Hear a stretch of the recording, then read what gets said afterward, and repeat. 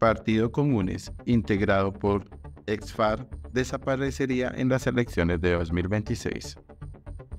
Con la aprobación en primer debate de la reforma política que se discutió en la Comisión Primera de la Cámara de Representantes, quedó claro que el Partido Comunes, integrado por firmantes del Acuerdo de Paz, tendrá que buscar los votos necesarios para continuar con su personería jurídica o de lo contrario desaparecerá.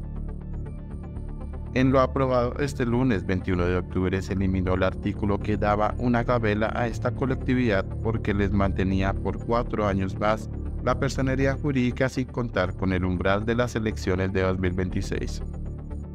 Ese tema generó bastante molestia, ya que el acuerdo de paz estimó que ese beneficio sería únicamente por ocho años, y tras un acuerdo ese mico se eliminó. Así las cosas, los integrantes del Partido Comunes tendrán que salir a conquistar el voto en los colombianos para mantenerse en la democracia de nuestro país. No obstante, en 2022 no lograron sumar más de 50.000 votos, por lo que si la tendencia se mantiene en las próximas elecciones, esa colectividad se acabaría. La oposición dejó claro que en los siete debates restantes harán una minuciosa vigilancia del articulado para evitar que algún congresista del gobierno quiera revivir dicho artículo.